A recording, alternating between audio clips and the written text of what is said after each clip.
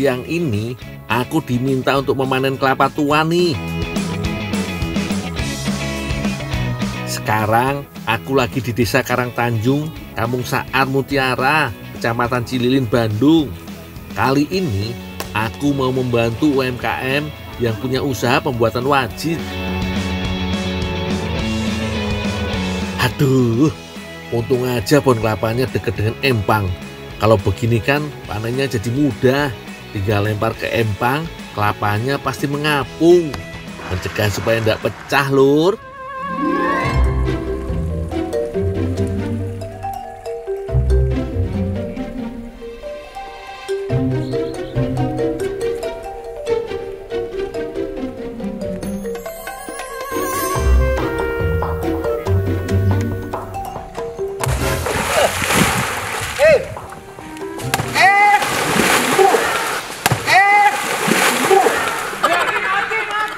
Bisa-bisanya ada aki-aki di bawah situ.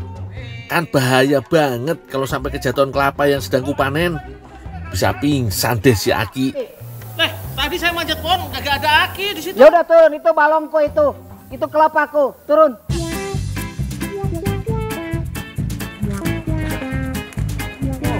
Ampura ki, ampura.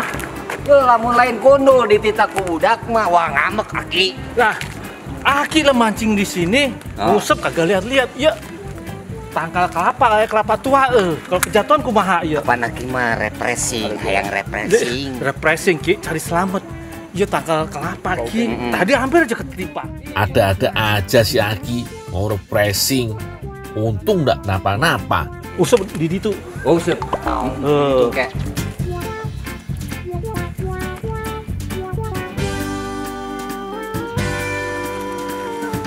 barang dulu ki. Oh ya, ganti baju.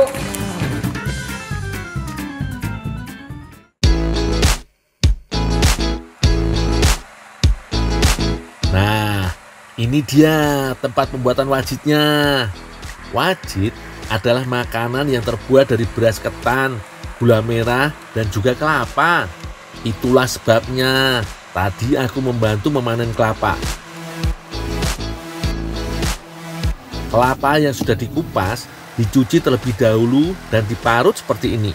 Kalau produksi banyak begini, mending diparutnya pakai mesin yolur biar cepet dan gak bikin tangan pegel. UKM bernama Coco Lajit ini memulai usaha sejak tahun 2015 hingga sekarang. Dalam sekali produksi, UKM ini bisa menghasilkan sebanyak 1000 wajit. Luar biasa banget yo lur.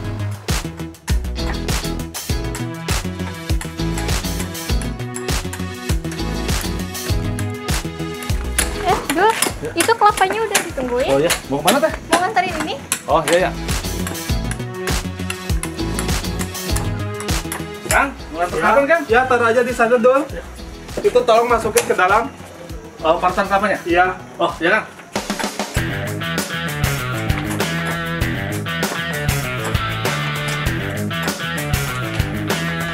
Nah, tugasku sekarang adalah membuat wajit.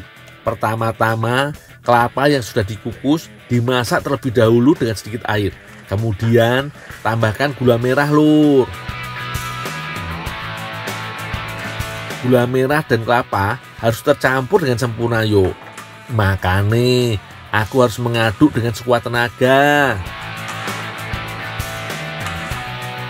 Nah, kalau warnanya sudah seragam begini, saatnya menambahkan gula.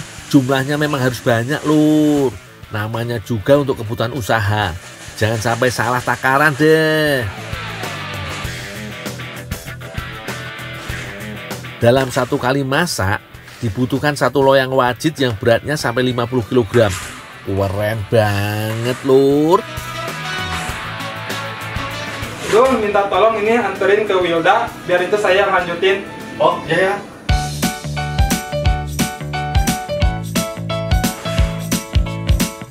Wajit merupakan kudapan asal Jawa Barat. Biasanya kudapan ini dibungkus dengan daun jagung atau dengan kertas minyak. Cemilan ini didominasi dengan rasa manis yang berasal dari gula Jawa.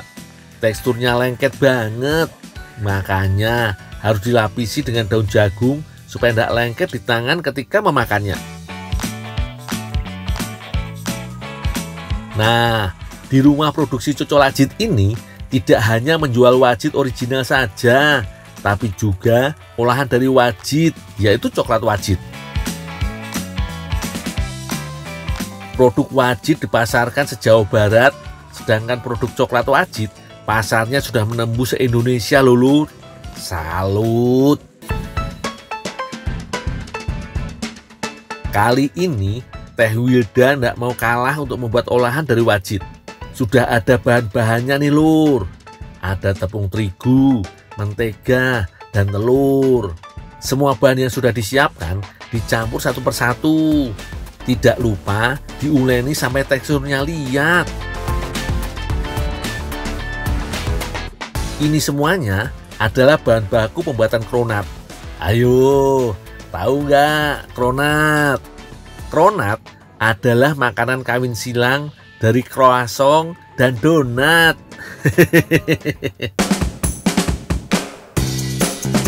croissant adalah makanan yang berasal dari Prancis dan donat adalah makanan khas Belanda. Maka kronat wajit ini akan menjadi makanan campuran tiga negara.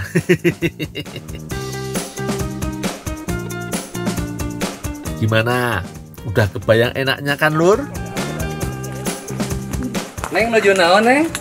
Masuk, Pak. Oh, mohon ngiring langsung, Neng. Ya, mau balik ke mana, Pak? Iya, tos larian kayu bakar. Wes masak nih, udah kayunya udah dapat. Iya, iya betul. Disuruh nganter ini lanjut teh. Tunggu atunya. Terus ini buat apa teh? Ini buat bikin kronat. Ada yang bisa saya bantu lagi teh? Iya, duh. Minta tolong dong tumbukin Apanya ditumbuk? itunya, ininya, wajibnya. Oh, wajibnya ditumbuk. Oh, iya deh. Saya kira apa yang ditumbuk? Tuh, Pak. Nggak apa-apa, buat teteh apa sih enggak? Makasih loh. Wajit ini sengaja ditumbuk supaya teksturnya bisa menyerupai selai. Untung teksturnya lumayan kenyal, jadi tidak sulit deh untuk dijadikan selai. Gak butuh waktu lama, selai wajitnya selesai ditumbuk. Teh, nih Ya. wajibnya udah halus, udah ditumbuk semua teh. Ya, yaudah, nggak apa-apa. Makasih ya, duh. Ada yang bisa dibantu lagi teh? Nggak ada kok. Makasih Oh, iya. loh. Aku tinggal dulu ya teh. Iya. Teh Wilda mulai mencetak adonan kronatnya, lur. Berbeda dengan adonan donat, kronat membutuhkan kulit adonan yang tidak terlalu tebal. Nah, di sela-sela adonannya, barulah diberi wajit yang tadi kutumbuk. Eits, belum selesai. Kita tambah selai dan adonan lagi. Asik, kronatnya jadi berlapis-lapis lur. Unik sekali yo, kudapan yang kami bikin ini. Kalau sudah disusun semua seperti ini, tinggal goreng deh. Jangan lupa lur, kalau mau masak apa aja, tunggu minyaknya panas dulu yo. Nah, dengan minyak panas seperti ini, adonan kronat langsung mengembang sempurna deh. Tunggu sampai warna adonannya kecoklatan yo. Itu tandanya sudah mateng. Salah satu ciri khas kronat adalah memiliki topping coklat di atasnya. Itulah sebabnya Teh Wilda mencelupkan kronat yang sudah digoreng ke lelehan coklat putih. Nah, supaya lebih menarik, toppingnya diberi warna-warni yang cantik.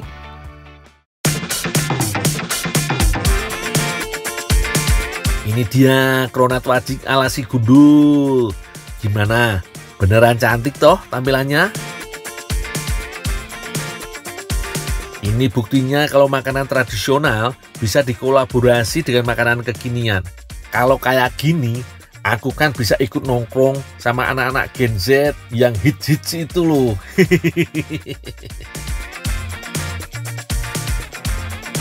Tekstur kronatnya renyah di luar, tapi lembut di dalam.